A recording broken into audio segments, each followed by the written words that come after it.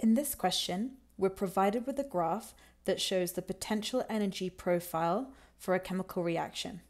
So we can see for our graph, we have potential energy in kilojoules per mole on the y-axis, and then reaction progress on the x-axis. So that's why we start with reactants on the left and we end up with products on the right. That's the reaction progressing forwards from reactants to products. So our first step here is going to be figuring out the potential energy of our reactants and the potential energy of our products. So to do that, all we need to do is look on our graph and read off the y-axis at our reactants and products. So for the reactants, that's here. So that's going to be 30 kilojoules per mole.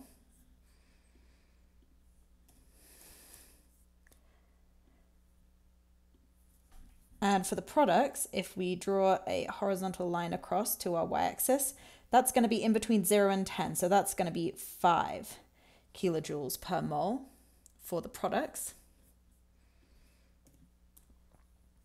So we know our potential energy of our reactants and our products.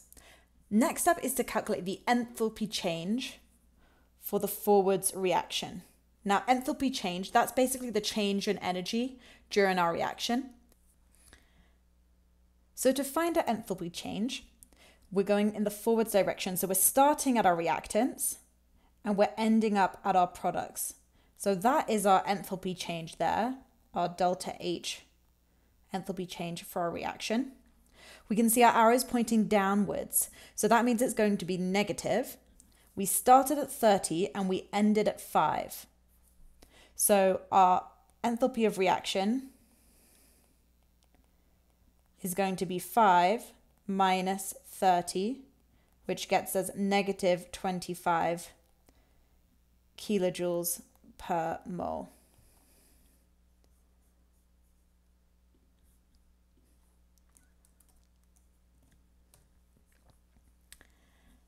Okay, finally we're asked, is energy absorbed or released during the forwards reaction?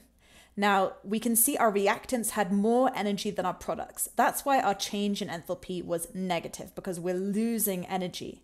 So if we're losing energy, that means energy must be released.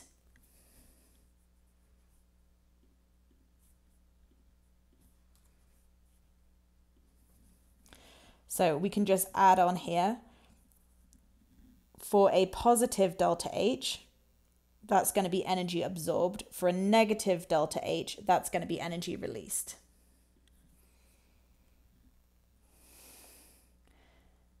And then lastly, it asks, is the forwards reaction endothermic or exothermic? Endothermic means we take in energy. So that means we would have a positive enthalpy change. Exothermic means we release energy, so that would be a negative enthalpy change. So since we have a negative enthalpy change, we've got energy released, this is an exothermic reaction. Let's do one more question of this type.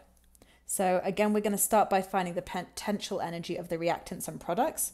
So for re reactants, here's our potential energy. It's 40 kilojoules per mole. For our products, It's between 20 and 40, so that's going to be 30 kilojoules per mole. So we can fill those out here. We had 40 for the reactants and we had 30 for the products. Now it's asking us for the enthalpy change, this time of the backwards reaction. So this time we're starting with the products and ending with the reactants. So for our backwards reaction, we're going like this to get our enthalpy change or delta H of our reaction. We're going from the products to the reactants. This time our arrow is going upwards.